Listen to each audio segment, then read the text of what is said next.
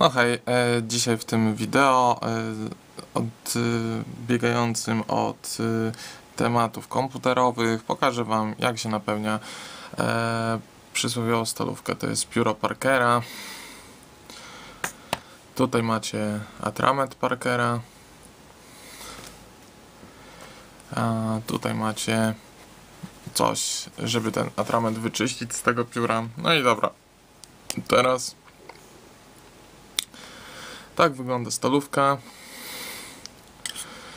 Tutaj widzicie, nie pisze albo pisze, bo już się tutaj skończył ten atrament. Więc co trzeba zrobić? No, musicie rozkręcić, wykręcić i wyjąć tak zwany konwerter. tutaj nie dotykajcie, bo tutaj jest atrament lub resztki, pozostałości. Wyjmujemy taki konwerter. Widzicie? Nic chyba nie ma. Odkręcamy atrament. Musicie to robić ostrożnie, żeby nie pobrudzić paluchów. I teraz tutaj macie takie pokrętło. Kręcicie.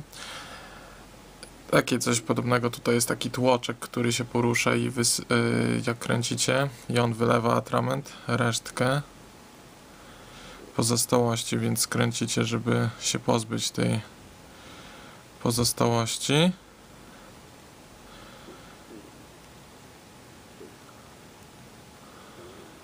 Co tam zostało?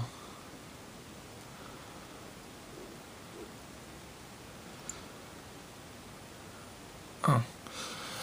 Więc nie wiem, czy dobrze widać. Widzicie, tu jest ten tłoczek. I teraz, jeżeli ja kręcę go w drugą stronę, to musicie przytrzymać, żeby... No, kurczę. O tak o. Teraz patrzcie. Widzicie? Taką kreskę. On się porusza. W ten, w, czyli w tą stronę wsysam atrament. No dobra, czyli najpierw go umieszczę na początku. I teraz umieszczam końcówkę, wsadzam do atramentu i kręcę, żeby napełnić.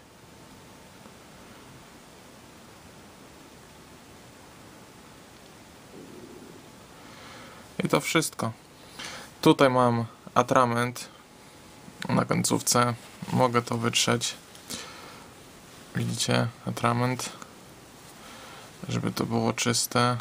Tutaj nie potrzebujemy. Paluchy czyste, to dobrze. Ale to jest atrament zmywalny, więc nie ma problemu. No i teraz wciskamy i przekręcamy delikatnie. I to wszystko wkładamy. No i testujemy. Coś napiszemy, na przykład.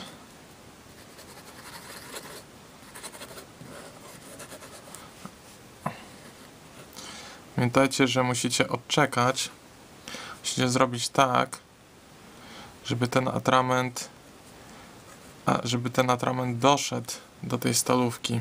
Więc troszeczkę dotrzymam. No dobra. Andrzej.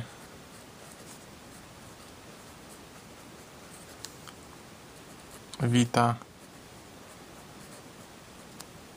wszystkich.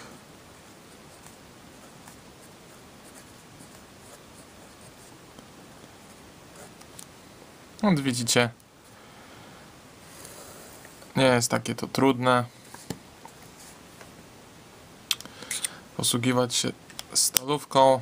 Na pewno wyglądacie profesjonalnie. Czy to podpisując jakieś kontrakty, czy na przykład pisząc jakąś przysłowiową kartkę z jakiejś okazji. Więc to wszystko w tym wideo. Do usłyszenia. Trzymajcie się. Hej.